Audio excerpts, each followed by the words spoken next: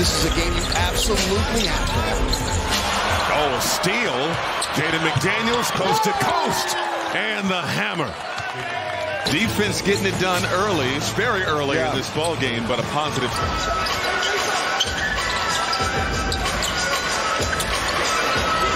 Three-point shot, that's an air ball. Warriors trying to chip away. Again, severely shorthanded.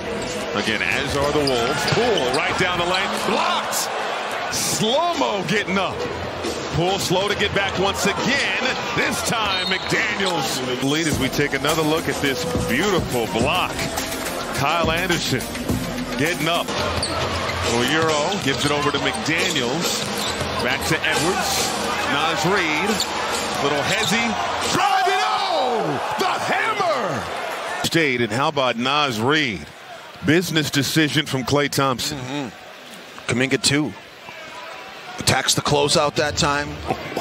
Kevon Looney comes out there to because he's got to take away the three-point shot. Take away the three. That's why it's so important to get that perimeter jump shooting down. As down to three. It's raining threes here in the third quarter, ladies and gentlemen.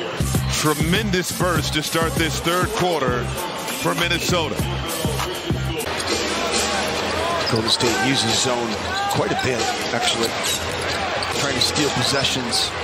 How about that reverse pivot? Oh, oh, close they are in the standings and a tiebreaker is crucial in a series like this. Anderson, oh! Count the bucket!